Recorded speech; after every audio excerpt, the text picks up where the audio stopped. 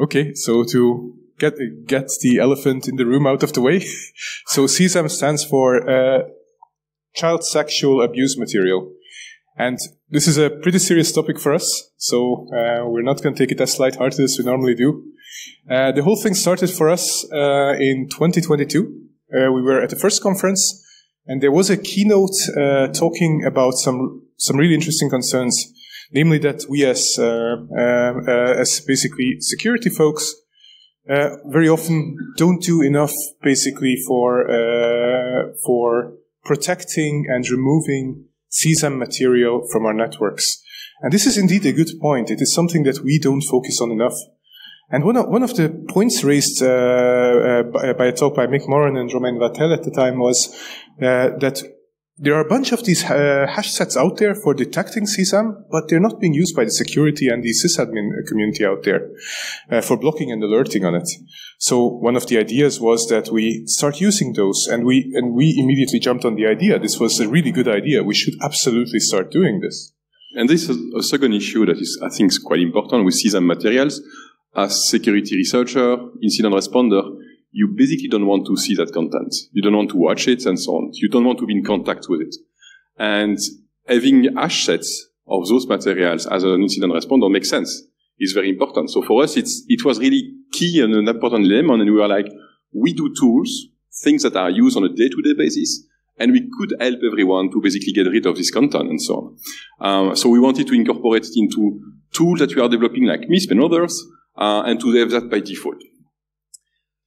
But then problem starts. Um, yeah. So during that conference, we basically go back to the police officer and we say, where could we get, uh, where can we get these hash sets and how can we get these informations? And we didn't get a clear answer on that. Yeah. So what, one of the things that we noticed was that these sets are not only not, uh, not openly accessible, but they're very often part of paid feeds and services.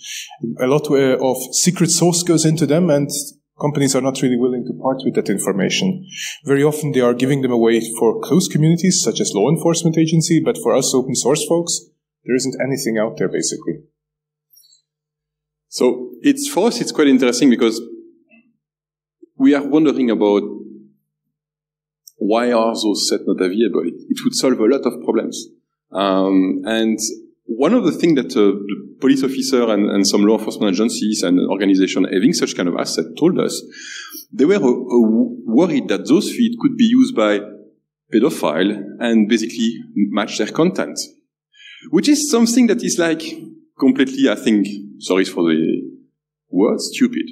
Because the thing is, we had exactly the same argument in 2012 with IOCs. I remember discussion of organization, no, we won't share IP addresses, you know, they might help the attacker.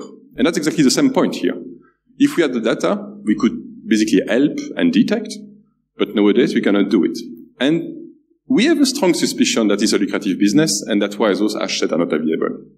So again, why do we want this? So first of all, as Alex mentioned, indeed, hiding unwanted content for analysts is something that is plaguing us all the time. I mean, if you do any crawling and so on, you will come across content that you really don't want to see. So being able to detect it and hide it right away would be interesting. Being able to detect and alert in, on our networks, letting law enforcement know uh, that there is someone basically seeking out this content or that this content is being shared in a resource would be great to do in an automated fashion. And we would really speed up the entire and break the economy of basically CSAM. So I mean, it has a lot of really good uh, outcomes if we were be uh, able to do this. So what can we do? Um, so the thing that we are trying to do is basically to get our hand on, on those hash sets to help everyone. Um, and some idea that we have is to be basically build our own data sets uh, and to have those hash sets. So obviously we don't want to get in touch and, and, and see those contents, but we want to do it automatically. Um, so one of the things that we are doing is maybe to automatically detect some onion addresses that we are calling in AIL and generating those assets automatically. That will be a start test.